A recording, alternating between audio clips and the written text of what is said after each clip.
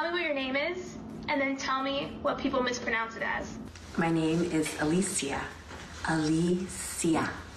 Not Alicia. Not Alicia. Alicia.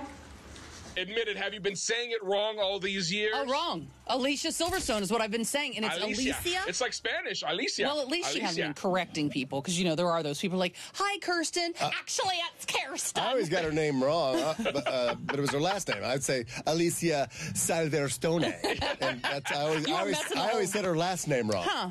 Heidi's been saying my name wrong for all these 20 years. Ass. I got that right. We've been saying Oprah's name all wrong. Her name is Orpah, not It is. Oprah. It is. When they went to do no. her birth certificate No at way. the hospital, they transposed the letters. Her mom named her Orpah. It came out Oprah, and they just went, "Well, we'll just leave it." I think Are you Orpah serious not right now? a big Orpah hit. Winfrey would have not have been. I'm no. looking it up now. Giggle it. Gi- just giggle Just it. giggle it. It's Google. Hey, don't forget to hit us up on social media. We're on all these platforms at Dish Nation. We'll see you there.